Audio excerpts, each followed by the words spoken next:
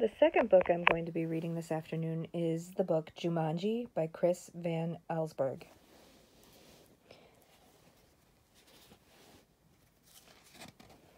Jumanji. This book is a little bit different than the movie, but there's still a lot of similar things. Now remember, Mother said, your father and I are bringing some guests by after the opera, so please keep the house neat. Quite so, added Father, tucking his scarf inside his coat. Mother peered into the hall mirror and carefully pinned her hat in place, then knelt and kissed both children goodbye. When the front door closed, Judy and Peter giggled with delight. They took all the toys out of their toy chest and made a terrible mess.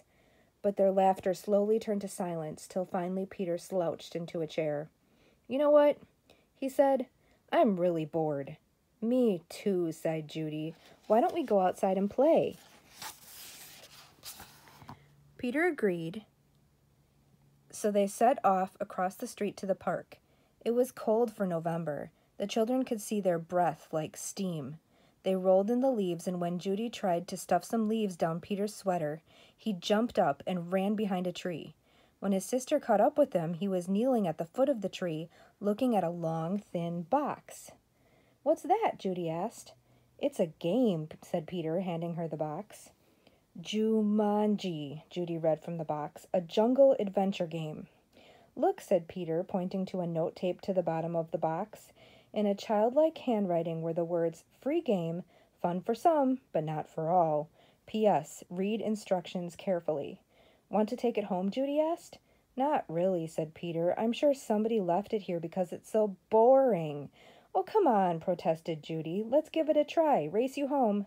And off she ran with Peter at her heels. At home, the children spread the game out on a card table. It looked very much like the games they already had. There was a board that unfolded, revealing a path of colored squares.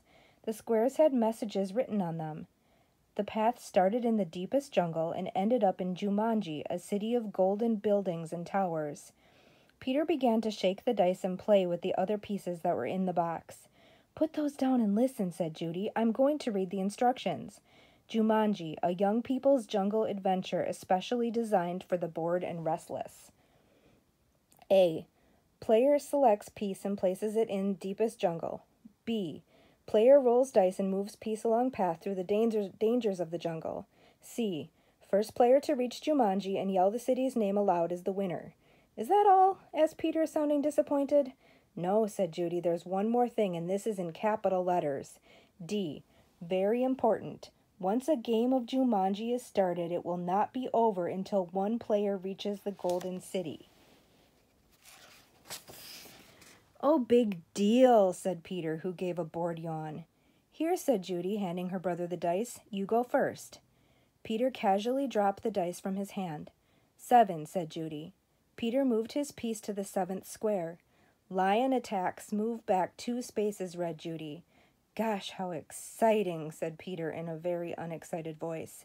As he reached for his piece, he looked up at his sister. She had a look of absolute horror on her face. Peter, she whispered, turn around. Very, very slowly. The boy turned in his chair. He couldn't believe his eyes. Lying on the piano was a lion staring at Peter and licking his lips. The lion roared so loud it knocked Peter right off his chair.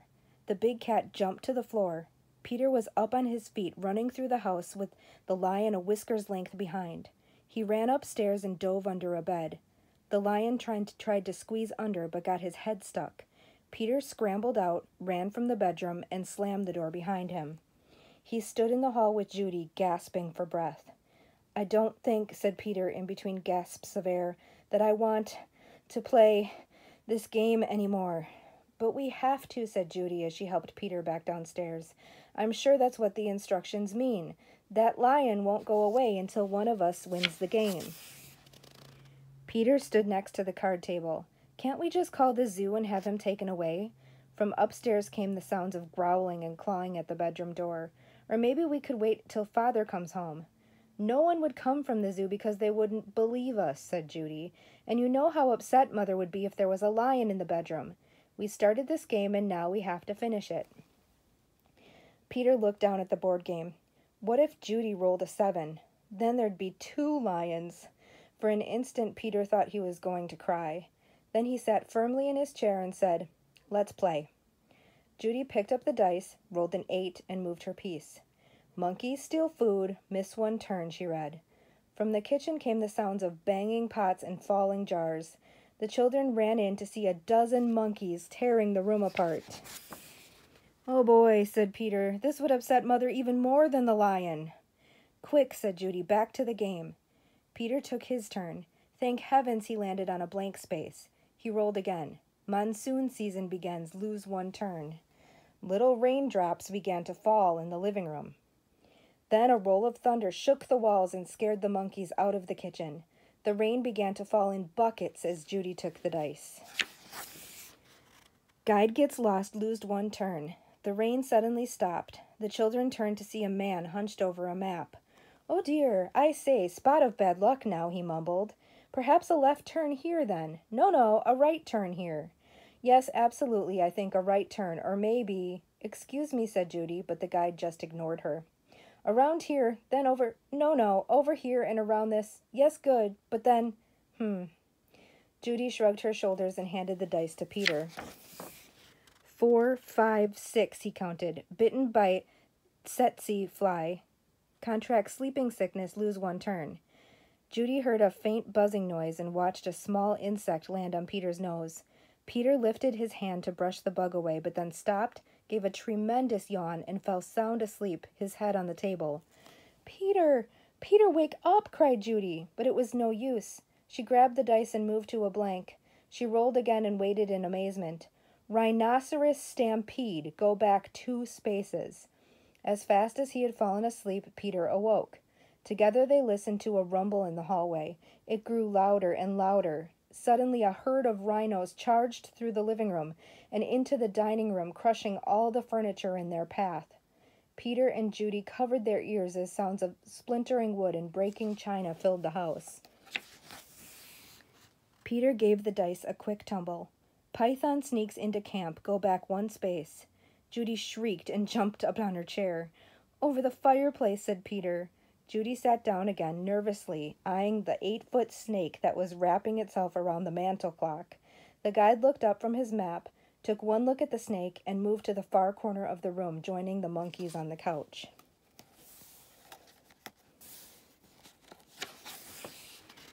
Judy took her turn and landed on a blank space. Her brother took the dice and rolled a three. Oh no, he moaned. Volcano erupts. Go back three spaces. The room became warm and started to shake a little. Molten lava poured from the fireplace opening. It hit the water on the floor and the room filled with steam. Judy rolled the dice and moved ahead. Discover shortcut, roll again. Oh dear, she cried. Judy saw the snake unwrapping itself from the clock. If you roll a twelve, you can get out of the jungle, said Peter. Please, please, Judy begged as she shook the dice.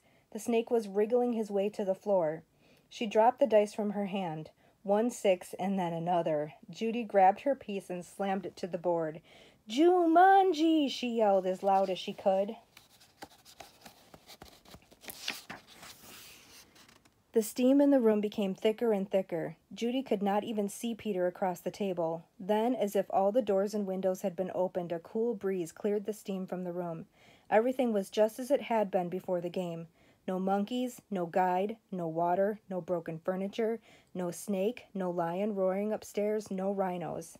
Without saying a word to each other, Peter and Judy threw the game into its box. They bolted out the door, ran across the street to the park, and dropped the game under a tree. Back home, they quickly put all their toys away. Both, but both children were too excited to sit quietly, so Peter took out a picture puzzle. As they fit the pieces together, their excitement slowly turned to relief and then exhaustion. With the puzzle half done, Peter and Judy fell sound asleep on the sofa. Wake up, dears, Mother's voice called.